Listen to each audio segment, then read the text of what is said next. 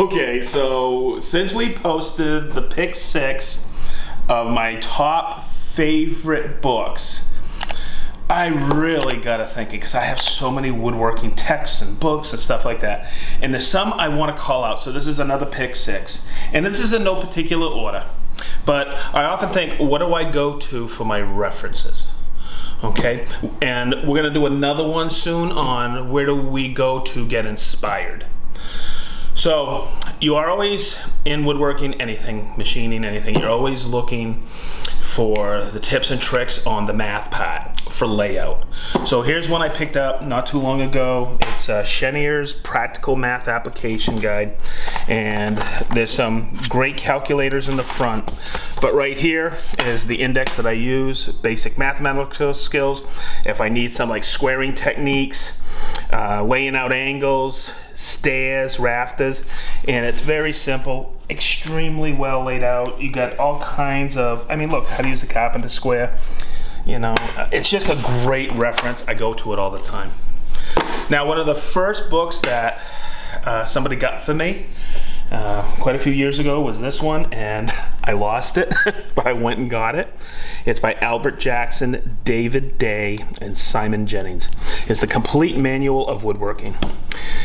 And I can't tell you how many times I have gone to this book for reference, especially for proper table heights or standards. Okay, uh, chair heights when you're building chairs, all the ergonomics, and it's super simple the way it's laid out. One heck of a woodworking text, as I call it. It also has references here on to see like uh, right here dovetail joints. They go over gouges. Great indexing, incredible indexing. Um, so there's woodworking.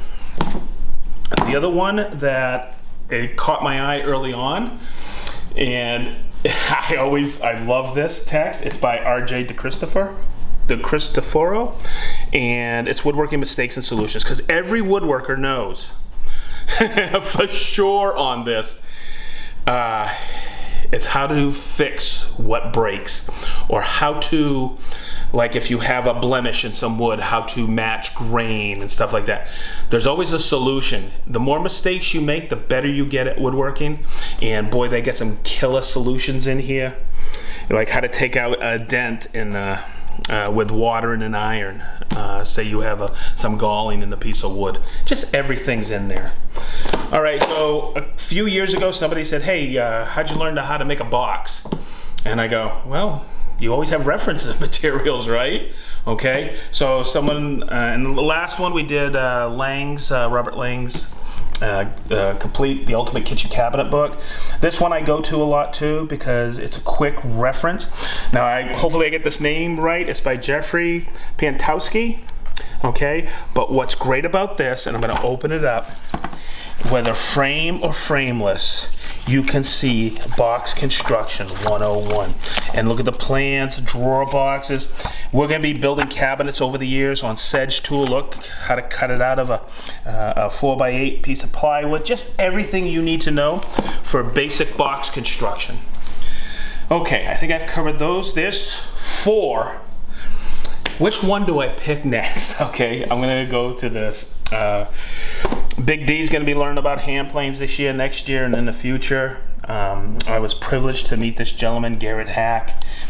This was a very popular book. It still is. It's called the Hand Plane Book. It's beautifully laid out.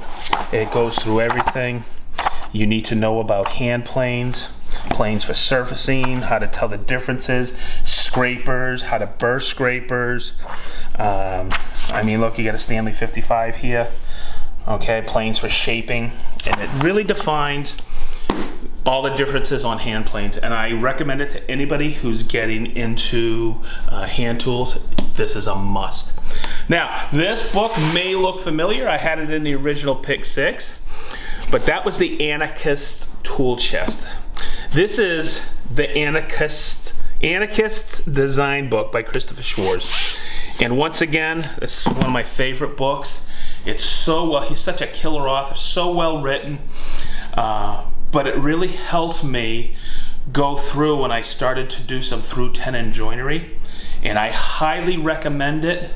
Um, we'll be building chairs in here eventually because I want to show Big D how to do some simple stools, some benches, and uh, some chairs, and I'm gonna go down that journey with him. So there's six more books that I have in my library. I'd like just to point out. They're all available uh, still. I had to look this one up because I've had this for many, many years, but it's still out there. I saw it on Amazon. So go check out these books, and I'm, I'm really excited to hear your feedback on this. Thank you.